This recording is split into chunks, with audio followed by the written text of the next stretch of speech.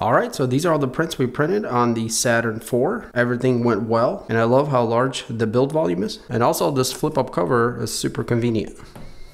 We got a few prints. Let's start with our root here that we first printed. So we can see the bottom looks really good. There's a little bit of pitting from bubbles in the resin, but if we look at the lettering and the detail, the sharpness, it's excellent. And I was obviously expecting that from this printer. And yeah, Elegoo got so good at this stuff that there's really nothing to complain about. Pretty much perfect.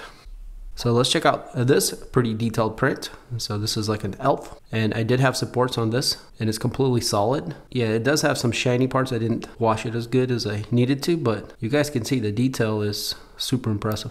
So it's not perfect, perfect, but it's very, very good.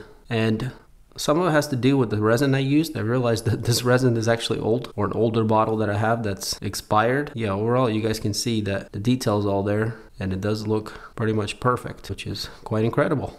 Here we have this droid lizard thing and this is really cool because it has all these holes and if we look at the top here it looks pretty much perfect.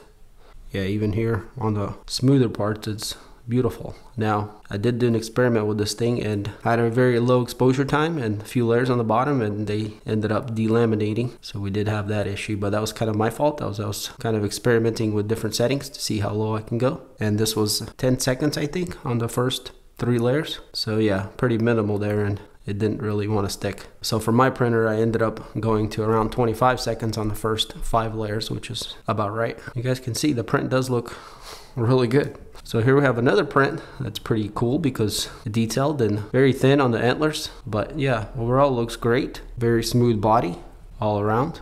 There is a few little layer lines here and there, but they're quite minimal. But yeah, if we go here to the face and to the antlers, pretty incredible of how well and detailed this printer is. The next print we have is actually really cool. This is called a Neuron. So this is just a bunch of like webs in between each other. And this would be very hard to make on anything else but a resin 3D printer. So yeah, it's pretty incredible what you could do. Everything is pretty much perfect. And this is the bottom here. You guys can probably tell it is a little bit thicker than the rest of it. But yeah, other than that, pretty much perfection.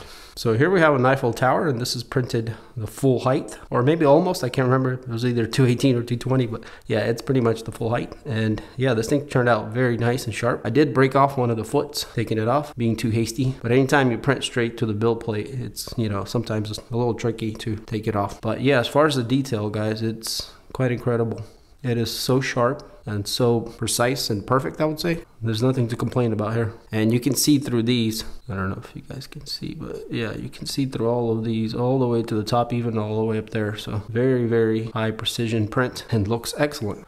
And the last print we got is quite large and it's this model of Deadpool. So for the most part, this thing turned out great, except for the bottom part here. I kind of messed it up. This is hollowed out also and drained here from the top. I have a plug in there. And also I made a hole here so I could breathe in the back so I could wash it. But we had some delamination here on the bottom. So I think I didn't have enough a layer exposure, especially for these larger pieces. But I'm not sure exactly what went wrong there. The bottom itself looks pretty much perfect and yeah it's just this first layers. And I think I didn't clean it out as well because we do have a little bit of cracking on the bottom as there's some resin inside that's trying to cure. If we ignore all that and go up higher here we can see the detail is incredible.